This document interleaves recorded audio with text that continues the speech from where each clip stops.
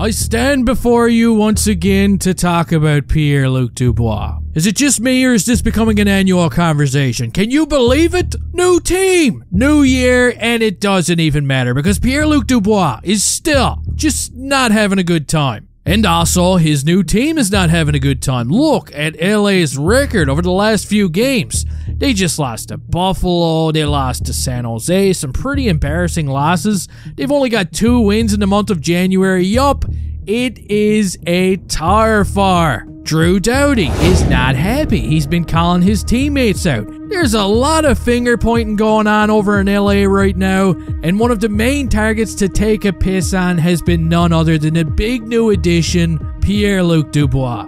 Yes, of course. Mister, I don't want to play here anymore. You see, Dubois might only be 25 years old, but you gotta admit, the guy's been getting around like an old bag. He was drafted by Columbus, where he played a few seasons, kind of got scared of John Tortorella and requested a trade. Then he landed in Winnipeg, looking forward to, you know, brighter days, and actually looked pretty good, boasting multiple 60 point seasons, but still, Somehow, he just wasn't happy, and Pierre Luc Dubois would once again request a trade. Now, in the midst of all this, there was always a lot of rumors floating around that Pierre Luc Dubois wanted to play in Montreal really bad. He was always linked there. It sounded like it was meant to be, but guess what happened? Last minute, the Kings kinda came out of nowhere and offered a pretty hefty package to get him, and the Canadiens, well, they might have dodged a bullet. So far, in 46 games, Dubois got himself 20 points, which might not sound overly bad, but it's actually his lowest points per game average since being in the NHL. It's not good. And let's face it, his defensive play has always been a problem. It stinks. He's also in year number one of a massive contract right now with a cap hit of 8.5 million bucks. Guys, I gotta say, I feel really bad for Kings fans right now, but at the same time, I'm just happy that the Canadiens didn't get tangled up into this mess. I mean, Pierre-Luc Dubois wasn't cheap. He didn't just fall from the sky like somebody took a shit out of the window of an airplane. No, the Kings gave up Gabriel Vilardi, who's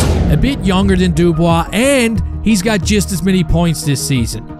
They also gave up Alex Iafallo, a bit of a project in Rasmus Kupari, and a second round pick in 2024. So, as you can imagine, we got one team, the Winnipeg Jets, who are extremely happy with the short term results from this trade. And then we got the Los Angeles Kings, who are probably hoping to see a little more from Dubois. But I guess that's the beauty of it. Right now, yeah, it might look ugly. It might even look like Pierre-Luc Dubois could request a trade again, like he's some kind of a 10-year-old playing NHL be a pro. Or maybe he snaps out of it and goes on to become a good story in LA. All I know is, about a year ago, I would have loved to have seen this guy in Montreal, but the more that I watch him, the more I feel like I'm watching the Jerry Springer show. Come on. Kent, please don't let it go to your shiny little head, but you did the right thing.